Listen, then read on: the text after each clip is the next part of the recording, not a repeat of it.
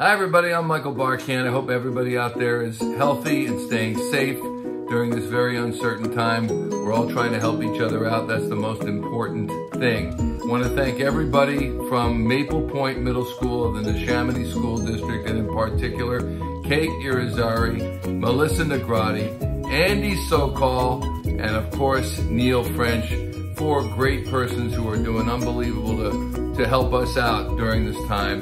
And we want you all to sign up for our Mother's Day virtual walk.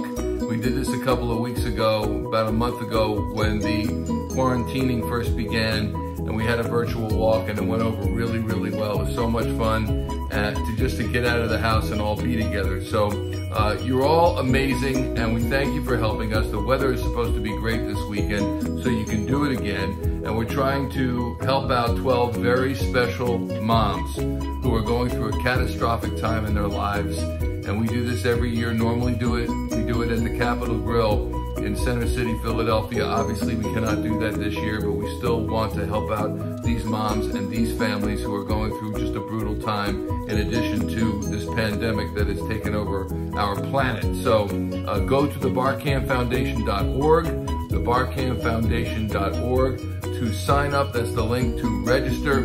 And your support and generosity will allow these moms to have a very special Mother's Day. And for what's going on now in their lives, uh, they need that very, very much. Uh, and we thank all the moms out there. And um, we thank you for being such a big part of our Healing Hearts family. And that's what it is. That's what we all are, just trying to help each other get through this horrible time. So we miss you and we can't wait to see you very soon. Thank you, Maple Point Middle School. Go Skins!